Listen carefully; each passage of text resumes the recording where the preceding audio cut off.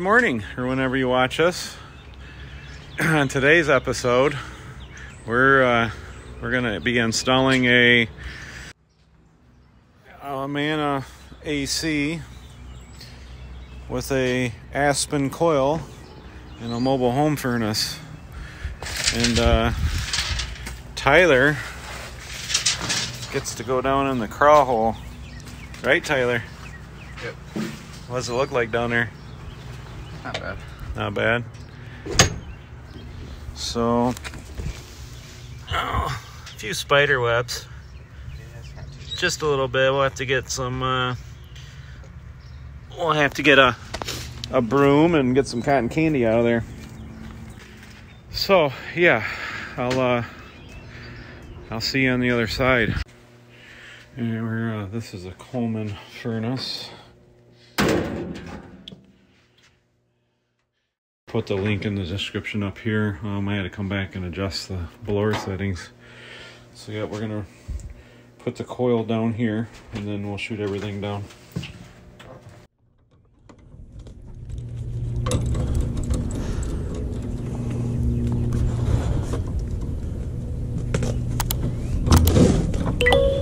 So one good thing with these mobile home coils, everything's facing downwards. So you don't have to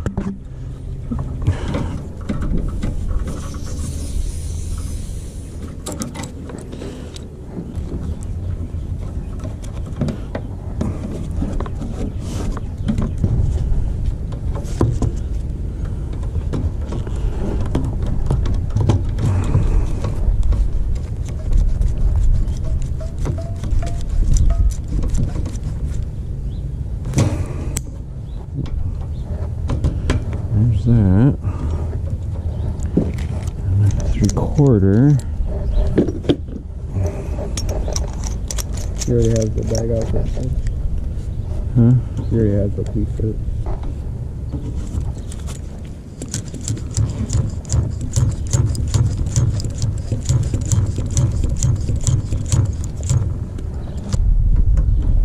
Just like that. So we gotta take your 3 8 brush, hold hold this and clean that out.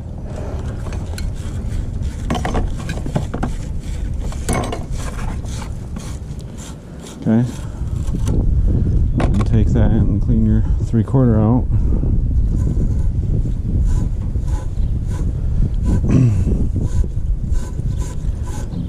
okay. And you gotta take your paste. I thought we needed. No, because those are brand new. Oh, okay. Yeah, so then you gotta take your paste and just put a nice coating around that.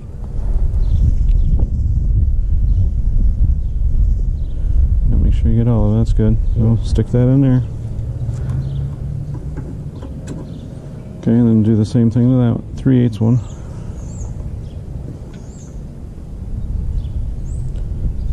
Okay. And if you see any like boogers or any pieces of that horsehair, make sure you pull them off. It looks like good. Because that'll cause it not to, the solder not to stick. Alright, then you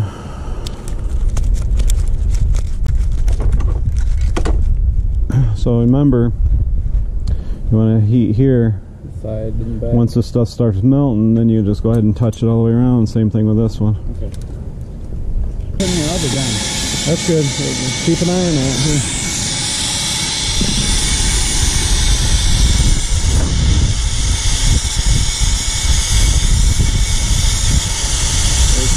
Flame around.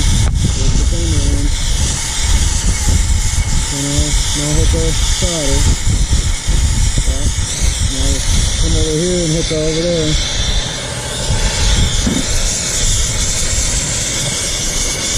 Hit the solder. Get a little bit underneath. To the spot on top you gotta hit. Hit the solder. Okay, remove the heat. Hit right there with the solder. Remove the heat. Remove the heat. There you go. Okay. Um, now let's go. Now hit this one. Okay, hit it with the solder. Okay, remove the heat. Getting too much heat. Sorry, you're changing that color. It's getting too much hot. Too much heat. You hit it with the solder. That's good. Okay. That's good. Oh, that looks good.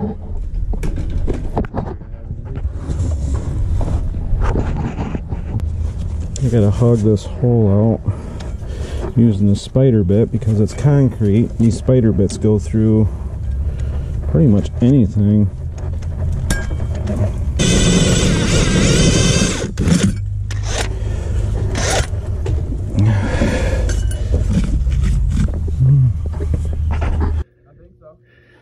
Start shoving it up.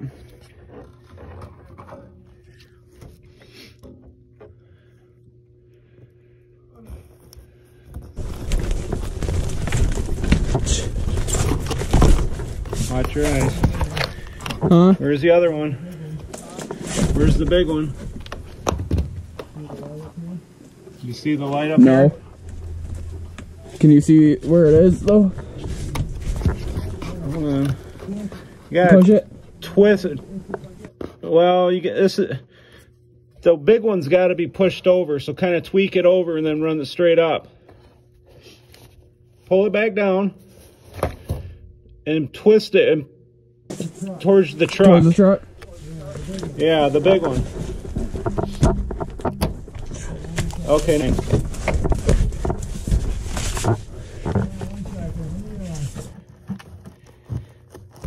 Both of them, bring them, push them towards the truck. There you go. Now send them up. Hold on. Okay, hold on. Okay. Gotta change this orifice out. Let's see what size that one is.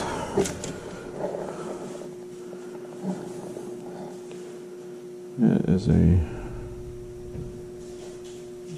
68. This one is a 59. So That's probably a three ton coil. So you- always want to push what fixed orifice you have from the unit into your evaporator coil.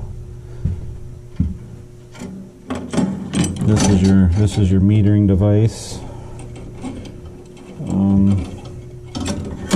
This is uh, what allows the a certain amount of refrigerant to flow back in as liquid.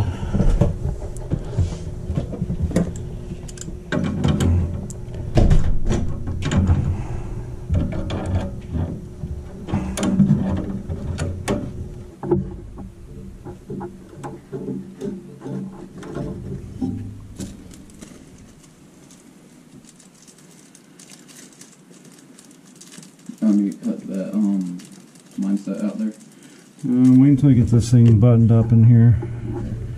So I said, I gotta still run that piece of PVC through everything. Yeah, I don't know where how that drain's gonna work. Well, we're gonna have to. I'll figure it out.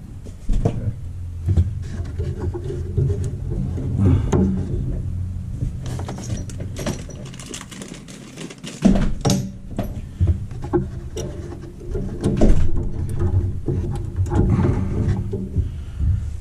That one.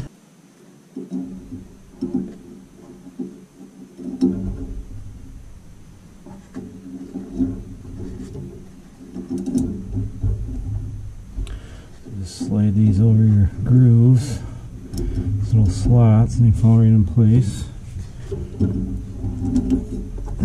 Put your stopper on and your stainless steel one on. And that's all it is to do. Alright.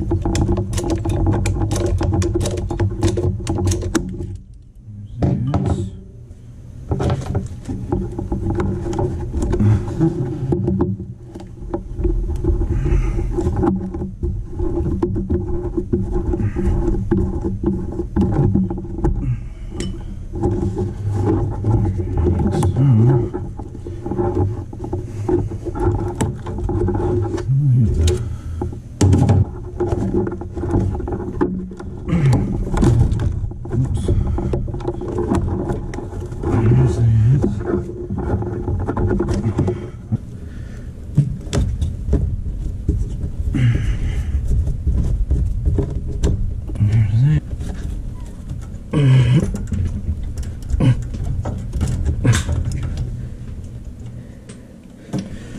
Oh, good times. Good times.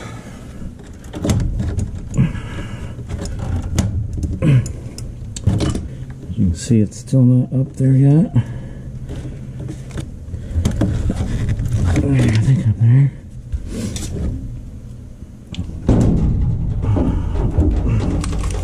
Kind of a tight spot here. There we go.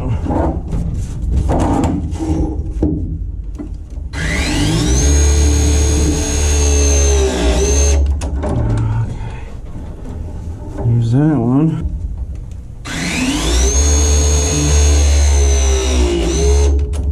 There's that one.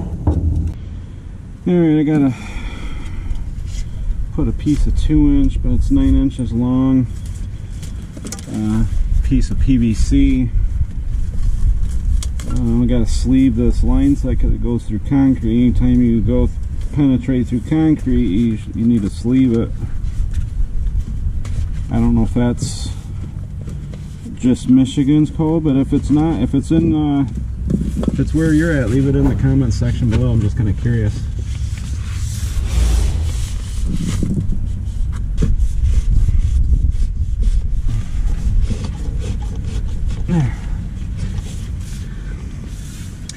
So I'm gonna probably have to go back in this crawl space and scope out where we're gonna do this drain.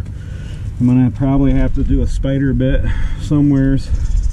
Run a piece of three quarter inch PVC up to that trailer drain that they provide you.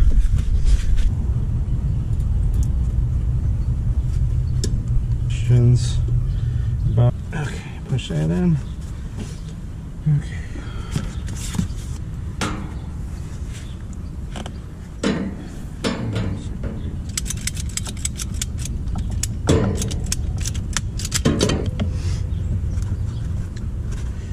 And once again, for all you southern people, you, you can't use this yoga pipe on heat pumps. I can't stress that enough.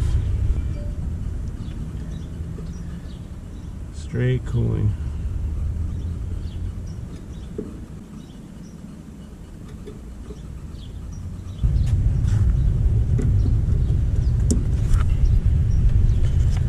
And like I said, this piece has got that little opening on it. And that tells you how far your line set is. Push it in. Watch right here. You can see the line set go in there and you want to make sure it's all the way in, seated.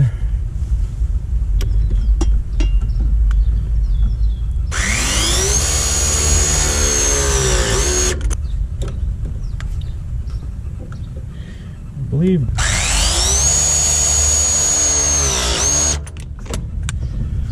that.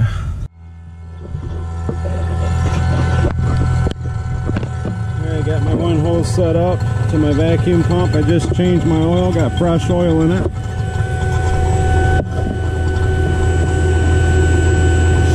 Pulling down good. I think we're gonna go I'm gonna let this run for about an hour. We're gonna go go to lunch, and by the time we get back, it'll be all ready to go.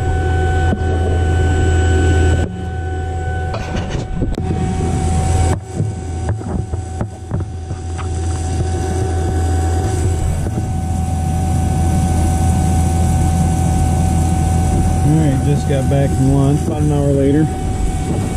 We usually take hour lunches. So I'm gonna Oh, I'm a big dummy. I'm a big dummy. You see what I just did? I forgot to put in my Appions. And I hooked this all up, went to lunch, and now I'm to lose all my. God, oh man. I'm mad. That stinks.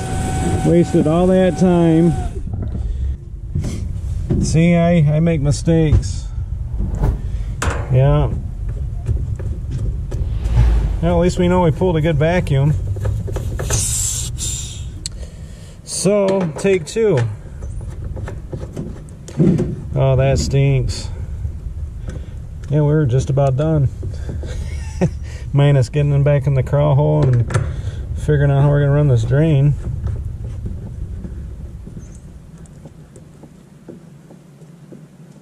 Well, let's do it again. Right, Tyler? Yeah.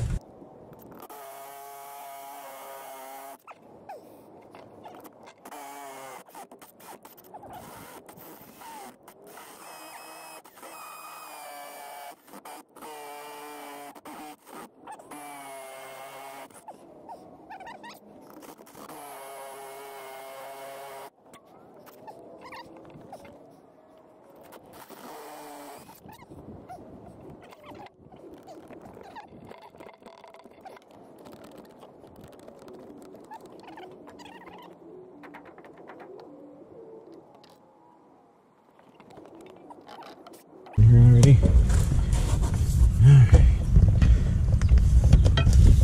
Oh, look at that. Nice. Nice. Alright. Now I gotta go and see how I'm gonna connect that down there. Alright. Back underneath this glorious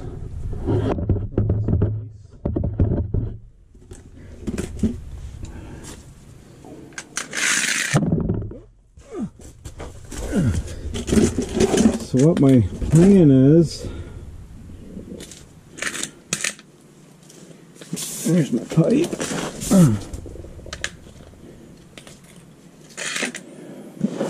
Yeah, I always have a plan.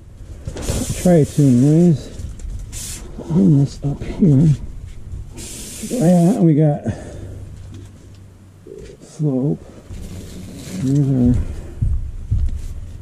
drain for AC.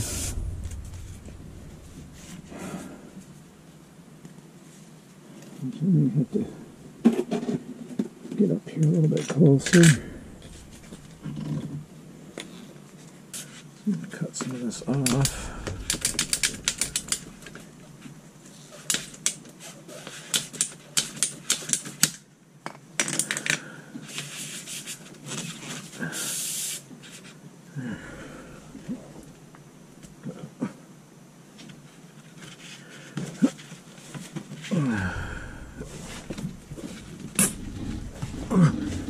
And we got pitch.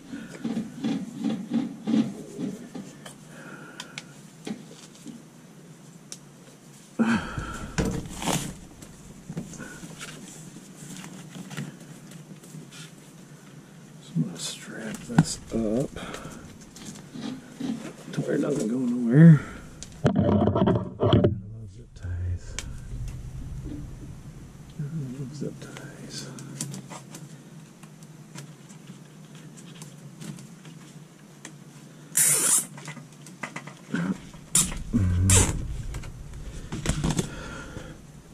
There. Yeah, it's got a little pitch.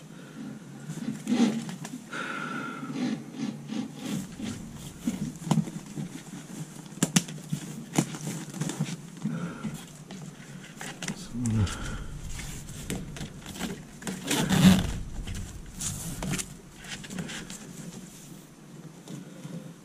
gonna let me cut a little bit. Actually.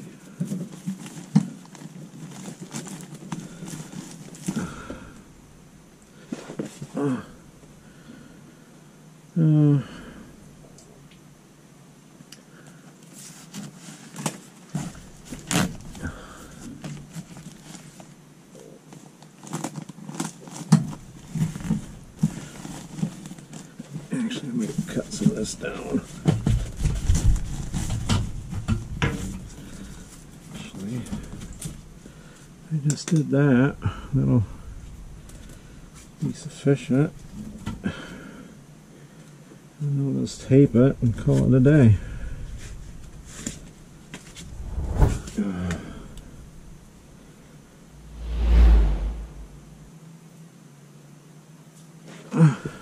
You let me put a small chunk in there.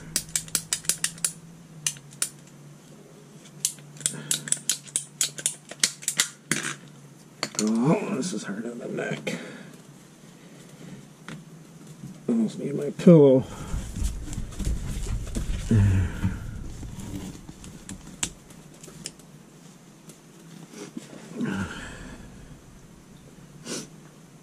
Where's my tape at?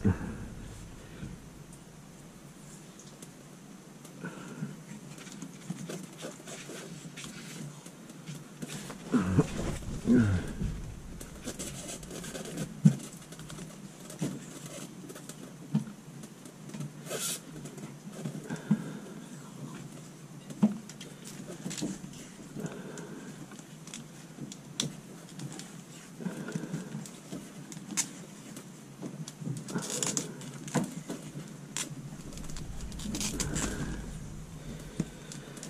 anybody else would probably just let this thing drain underneath. That's what they did before, and they couldn't. I couldn't do that. I try to do quality work, so I don't like to do hack hack work if I can help it. No, there. It's got some slope. How's it going down there? It's going. Figuring it out? I got it fingered out. All right. I got the spray foam. You got me to spray the inside of the PVC. Um, I can do it. Alright. All right. So this is what I got going on. Comes up there, and uh, I got pitch there, and then it goes that way. I mean, it's not a lot of pitch, but it's enough to get us outside.